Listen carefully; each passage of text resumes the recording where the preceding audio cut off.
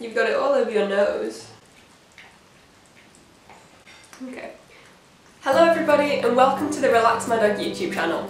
Today we're going to be talking about how to bond with your new puppy or dog. Now I think meeting your new dog or puppy for the first time is one of the most nerve-wracking things ever uh, because there's so much riding on it. Uh, you know, all the things you're going to do with your dog in the future, all the training and everything, is going to rely on you having a really strong bond with your dog.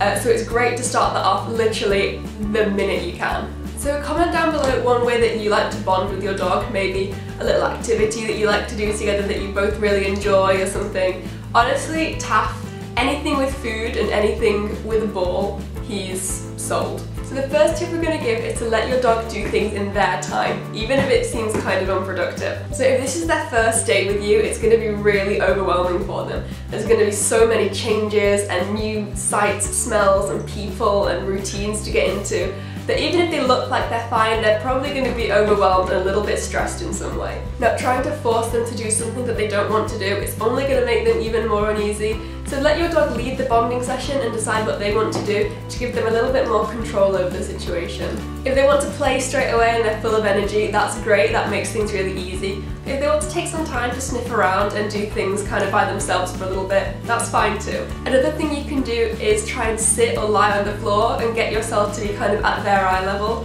It just makes you look a little bit less imposing and intimidating and it might give them a little confidence boost and make them come and say hello to you a little bit earlier.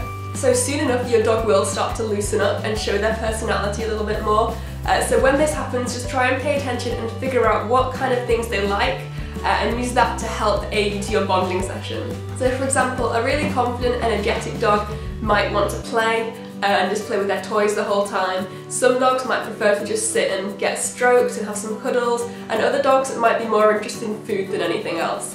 Whatever you find out makes your dog happy, be sure to do that with them um, just so that they understand that whatever makes them happy is what you want to do with them. So finally, make sure you pay attention to your dog's behaviour and act accordingly to it. So there are loads of ways that dogs express themselves in their body language and in little noises that they make, and so try and pick up on these to realise how they're feeling. And if it's not something that you're very familiar with, it's definitely worth looking into because it can be a really great way to understand your dog. So for example, if your dog is kind of cowering and has their tail between their legs and maybe shaking or whimpering, you can interpret that something that's happening in the situation is making them really uncomfortable, so you might want to change up what you're doing in that moment to help them relax. Similarly, if your dog is actively kind of interacting with you and coming over to you happily and things, you can interpret that you're on the right track because your dog's feeling nice and confident. So the last thing we want to add is don't be disheartened if you don't bond with your dog as soon as you're expecting to.